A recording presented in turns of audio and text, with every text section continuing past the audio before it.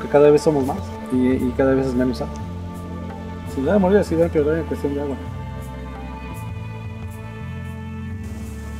Últimamente han tenido problemas por, por el que se baja mucho la presa de, de Coince, más que nada es la que más se ha bajado. Ahorita, por decirlo, si damos un vistazo a la presa, está bajando muchísimo y aparte que está muy contaminada con lirio. El cambio climático sí les ha afectado muchísimo.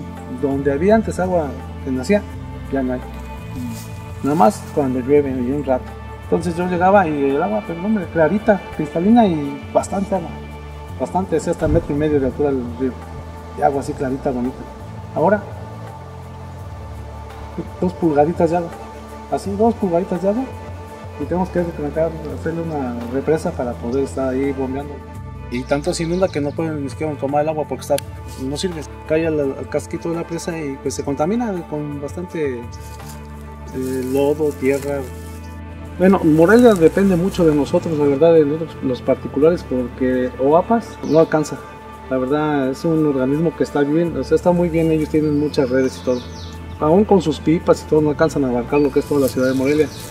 Ellos abarcan todo Morelia, lo que es ciudad, pero los- las partes de fuera, lo que son colonias de fuera, las aledañas, normalmente nosotros las, las estamos cubriendo. Y se podría decir que, que estamos este, ayudándolos a ellos sobre un 60-70% del trabajo de ellos.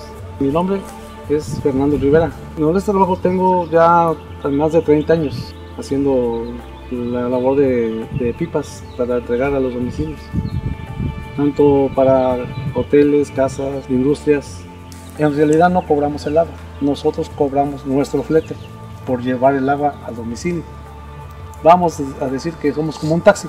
Así es como trabajamos nosotros, el agua no la vendemos, la transportamos nada más. Cada día va a ser más difícil de conseguir. Si va a haber sequía, sequía, sequía, pues no va a ya.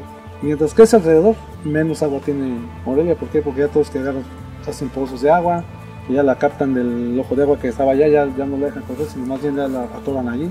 Preocupado por, más que nada, por de dónde vamos a tomarla. Pues la solución va a ser buscar agua afuera.